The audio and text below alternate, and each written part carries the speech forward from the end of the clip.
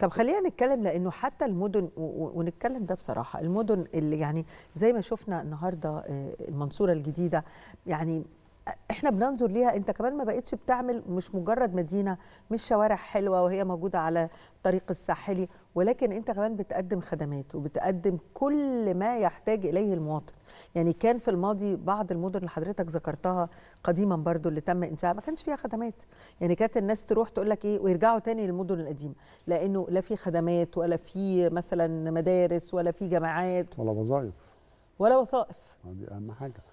فطبعا لا ال- المدن دي فيها برضك اهتمام يعني حتى العاصمة الإدارية الجديدة فيها جامعات فتحت طبعا آه، وأعرف ناس بيروحوا وطلبة وده برضك يفهمك إنها هتبقى حاجة جامعة آه، الجلالة مثلا آه فكل ده طبعا آه، مهم جدا إنك تعيدي توزيع السكان ما نبقاش في حتة واحدة وده اللي عمل ضغط رهيب في الطرق وفي الكباري وعندنا المرور بقى دايما كان صعب بسبب ال- العدد. طبعا. الضخم ده الإنجاب في مصر حسب الإحصاءات الأخيرة لما قالوا إحنا في شهرين بنخلف حوالي ربع مليون ده معناه إن أنا ممكن أوصل آه، حوالي آه، 2 مليون ونص في السنة وده مم. حاجة ضخمة.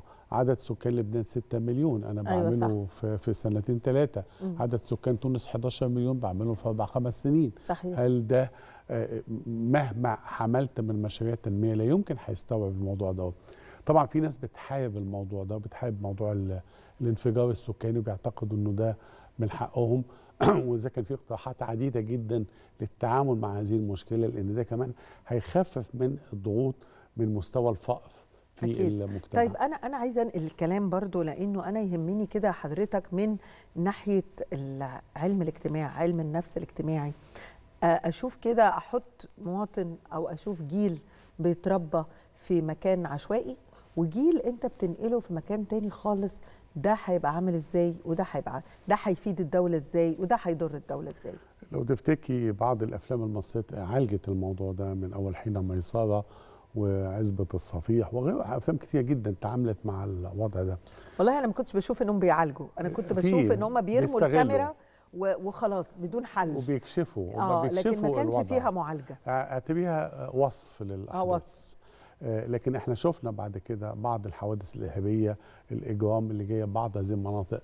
فطبعا عملية إنك أنت تعملي مناطق جديدة يسكنوا فيها آه، بتخفف من النفسية العدوانية. لإنك لما تحطيني في بيت ضيق آه، طبعا هيبقى شخصيتي عدوانية. وهبقى حائد وكاره المجتمع. افتكري مسرحية عادل إمام شاهد ما شافش حاجة لما بيقول له أنتوا سايبين بقية الشقة وقاعدين أنت ومامتك وعيلتك ومش عارف إيه في في أوضة واحدة. ده طبعا تخيلي النتاج بتاع هذا النوع من الإسكان نفسيا واجتماعيا. إيه العقد اللي هتبقى عندهم؟ طبعا انت لما بتعملي حاجة جديدة آه، بيوت صحية. ما هياش بيوت آه، آه، يعني فيها صرف صحي فيها مية نظيفة فيها كهرباء فيها حاجات كتيرة جدا آه، هيبتدي يحس بالإنسانية. مم. يعني أنا أهم حاجة أفتكر رئيس يحس بحقوقه كمواطن. رئيس السيسي دايما بيتكلم على موضوع حقوق الإنسان بيتكلم على موضوع الحقوق الأساسية. فين؟ حقوق ال- السكن التعليم الصحة الخدمات كل مم. الحاجات دي انت محتاجاها.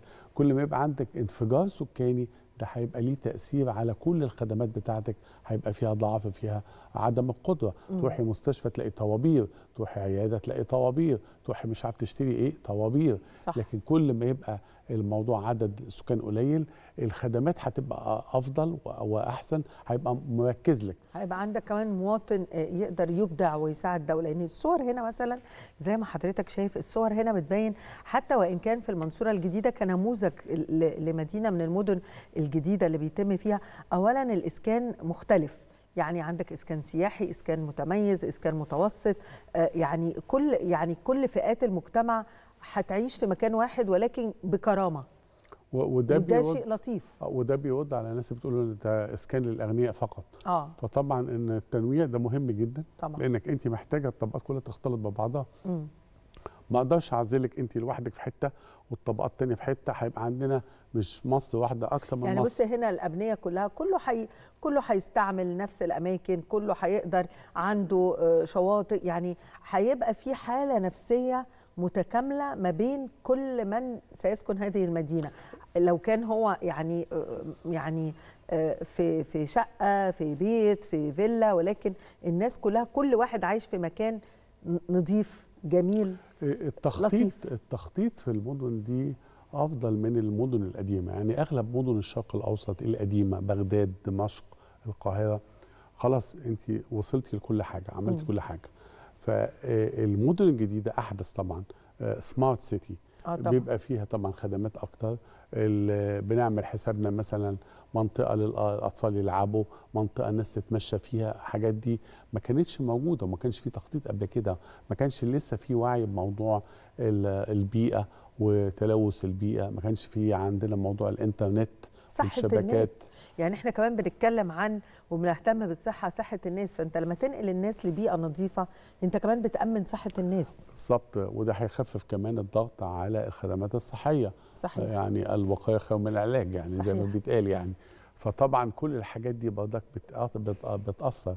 النفسية أحسن. الانتماء للوطن مش شعارات إنما أيضا خدمات بيئة آه، لما ألاقي بلدي جميلة أنا هحب بلدي إنما يبقى بلدي قبيحة آه، قمامة هنا مش عارف إيه فوضى آه، ناس مش مبيضة البيوت شكلها قبيح جدا مم. إزاي هيبقى طبيعي هتطلع؟ الجزء الجزء اللي بيبقى كامن جوه بعض الشخصيات هيبقى من الصعب إنك تبقى عندك الانتماء وده هيأثر على الانتماء لذلك ال- ال- الجمال البلد بيخليها بيعزز الانتماء فيها